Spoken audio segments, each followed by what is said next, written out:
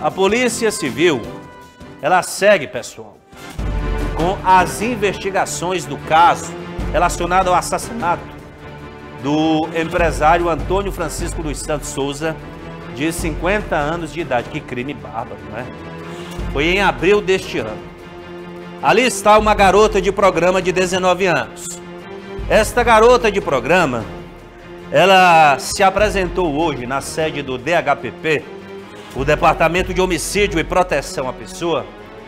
Ela esteve, ela praticou sexo com o empresário, porque ela trabalha com o corpo, ela é, é, é uma garota de programa, se prostitui, ela é, assumi, é assumida. O próprio advogado dela disse que ela é garota de programa e que frequentava o bordel ou prostíbulo onde o empresário costumava também frequentar. Que eu não sei o que é que o empresário queria lá. Né? Ela foi hoje com o advogado, disse que não tem nada a ver com o crime, na sexta-feira, um, um, uma faxineira foi detida. Foi também preso um, um pai de santo. Ela agora se apresentou. São oito envolvidos. Dos cinco envolvidos, deu sirene, deu BO. Deu chave, deu cadeia, porque o crime foi grave. Dos oito envolvidos aí investigados, cinco já foram identificados. E até a, a polícia prendeu uns e pegou o depoimento de outros. Ela disse que não tem nada a ver. Alega ser inocente. Vamos agora conferir, pessoal, uma entrevista com o advogado desta moça, é, o doutor Luiz Alberto Júnior, coloca aí na Casa do Fogo. Aliás, é o delegado de Vanilson Sena. É, é, ô Tessiane, vem cá primeiro. É o delegado de Vanilson que fala primeiro, é? É, vamos, vamos, vamos conferir. É o, é, é o doutor, não é? Então vamos seguir. De, depois o Divanilson. É ao vivo, é assim mesmo. Bota primeiro aí o advogado, o doutor Luiz Alberto. Ele vai dizer aí o que a cliente dele disse. Coloca aí na casa do povo. Ela alega que ser inocente. Apenas ela, ela havia ficado com a vítima num dia anterior, que frequentou o ambiente lá como qualquer outro homem que gosta, busca diversão noturna e nesse, nessa busca de diversão noturna ela havia ficado com ele, como também uma outra também havia ficado com ele. Ela pretende ela colaborar com, com as investigações, dia, doutor? Esteve sim, esteve? esteve com ele sim. Ela, ela viu ele desacordado?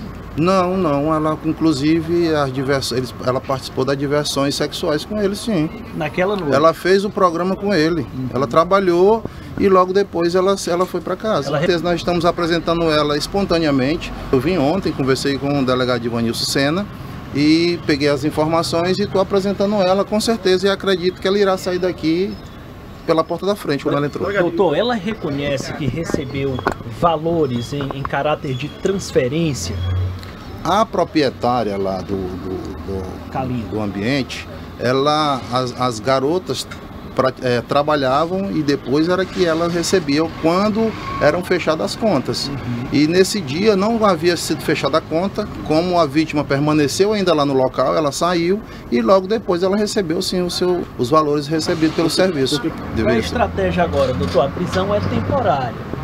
Bom, eu vou conversar agora, vou apresentar ela para a autoridade policial e nós vamos ver o que é que já tem apurado, que eu ainda não sei o que é que tem apurado no bojo do inquérito policial.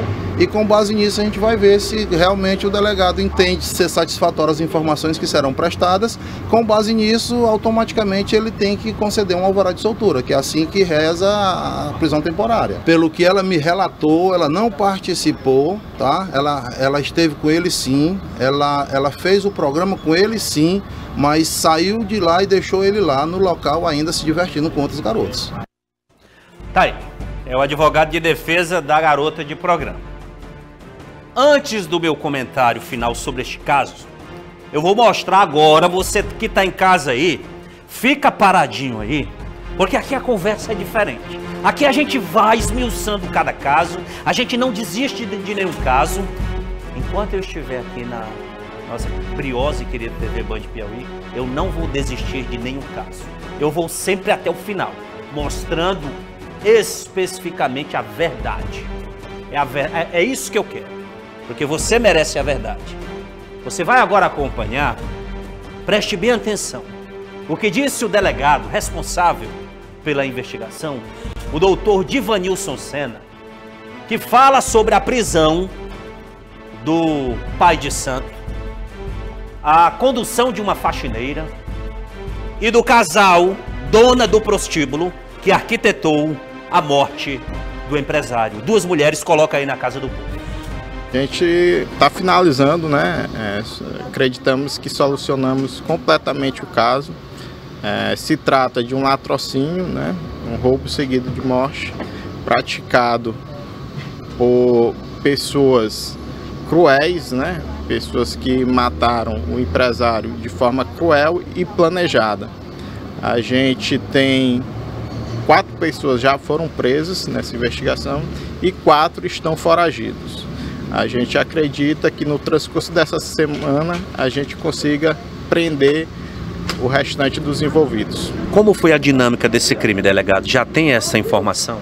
Sim, sim. É, é, a vítima foi fazer relação com duas garotas de programa. Lá ele foi é, possivelmente dopado, seja por algum medicamento entorpecente ou bebidas ficou desacordado e planejando o crime, a Kalina é, fez, juntamente com as garotas, é, essa transferência né, no valor de 90 mil reais. Elas já tinham acesso à conta do empresário, por ele ter feito algumas transações já né, pequenas lá no estabelecimento. Possivelmente elas conseguiram acesso à senha e efetuar essa transação dele desacordado.